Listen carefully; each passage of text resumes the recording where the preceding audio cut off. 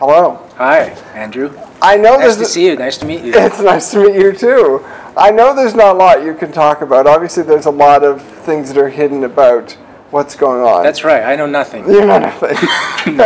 I know a few things. what can Yeah. you tease us that's going on that we're going to find out? You know, beginning of the season. Well, I, I compared to the first season, I, what I can say is that uh, there's a lot more that Fancy does.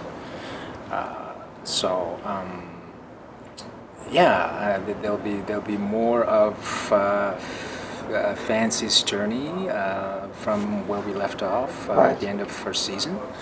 Um, is he level six or is he not level six? That's the big question. That's right? a very big question, and- yeah. And what is level six? You Right. know, and these are all the questions that I also have. And um, unfortunately, you know, uh, but fortunately, actually, you know, the viewers will have to uh, uh, see it to, to figure out what's happening. How much of an answer are we going to get about level six or not? Or- From me? No, in general, like from what we're going to get early on, is there going to be many answers? Well, I think there there there are so many speculations, Right. you know. So I mean, you know, a- anywhere from like with the green goo that, that was flowing out of my eyes uh, at the end of uh, season one.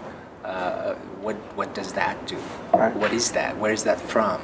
You know, um, is Fancy changed or did he die? Right. You know, so obviously I've been working on the show, but even then, like who, who's to know Who's to what, know? what what he's up to? That's you know right. What I mean, so, but uh, yeah, I don't I, I, I don't like uh, getting surprises spoiled. Right, Uh, no. Myself. No, I don't think the fans want that either. No. No. No. So. And so then, in terms of you actually as an actor on Yeah. set, what's it been like for you? Because uh, Oh, it's been super exciting. it looks Super like such a fun show to shoot. Yeah, I you know um, whenever I get the script, uh, uh, you know it's such a page turner because we have we have an excellent team of writers and Right. uh, um, so. It, it's always uh, you know fun to read the script and I go, oh my God, that's happening. What? So you you, you, you get really excited and and uh, you know um, I gotta tell you this this is my very first time working on a sci-fi genre show and Right. uh, it's been absolutely fantastic.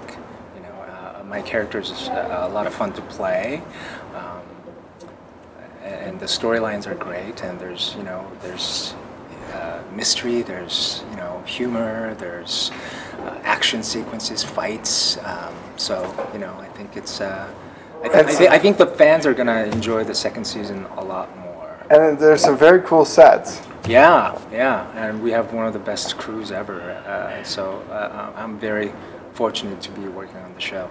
Do you, um, I mean, in terms of working with the cast as well, eh, obviously you get a few scenes with some of the others occasionally. Yeah. Um, what, what, what's it like working with three, especially? Oh, just uh, a dream come true. You know, they're all funny. Uh, you know, uh, when, when the camera's not rolling, uh, you know, they, they, they mainly joke around, and you know, and I.